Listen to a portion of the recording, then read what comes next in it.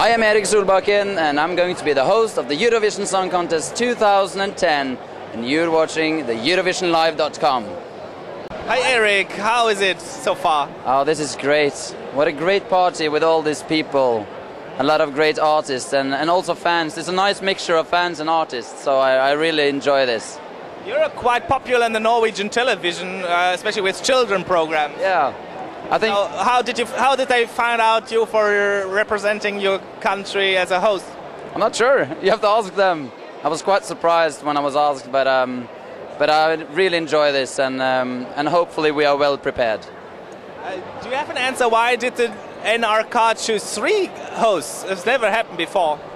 Well, there is uh, three big shows, and um, and uh, I think it's an interesting mix because now we can uh, be two people in the green room, and Nadia, who's going to take care of all the results, she can be there, and we can ping pong to each other. So um, I think it's uh, it's a good thing. So you also must be familiar with French because when you say the points at the end, Oui, oui. Votez, c'est facile. Votez.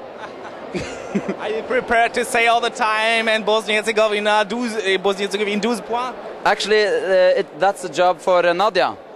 Yeah. So uh, I'm going just to stand back and cheer for all the artists, and uh, and uh, and then I can't say anymore. What would you say um, concerning the quality of the songs of this year's contest? um, I really like um, a lot of the songs uh, this year. There's a lot of ballads, but um, I like ballads, and uh, and I also think there are a quite um, exciting mix of different uh, songs. You have uh, Lithuania with the European funk, and you have some Balkan beats, and uh, you have a bit of uh, rap and ballads and female groups, and you have everything. So uh, I think uh, people will uh, enjoy this year. Of course, uh, you must be neutral. Uh, you cannot say uh, Moldova is my favorite country, but do you have any tendencies? It's a fast song or a slow song? I can I can see my I can say my top three. You want me to say that? The first one is beep. The next one is beep. Unfair. But the best one is beep beep beep. So BWW must be something like Serbia, Montenegro. I don't know. That's sort of former Yugoslav, former Yugoslav Republic of Macedonia. Probably. yeah, we all we all uh, love uh, all equally now. Of course, we're the hosts. If you remember the Norwegian entries so far, Norway has never been really successful beside of uh, little uh, some some outages like like uh, Bobbysocks of course and Alexander Rybak. Um, there are a lot of nil points uh, in the Norwegian history. But what's your personal favorite? It could also be a nil point country, uh, nil point song. Uh, that have to be uh, Mil etter Mil etter Mil with Jahn Teigen. I really love Jahn Teigen. He's a Eurovision legend in Norway. Mil etter Mil. Uh, that's, that's a nice one. But my personal favorite is uh, Jostein Hasselgaard performing in 2004 with his ballad I'm Not Afraid to Move On. You remember that one? Yeah, that's really lovely. Oh, you, you remember it? Yeah. That's impressive. Do you remember uh, Silje Vige?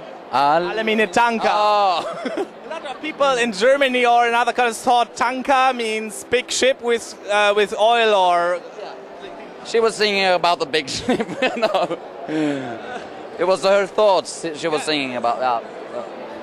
So. Uh, do you think uh, this format with three shows is this a concept for the future of the Eurovision?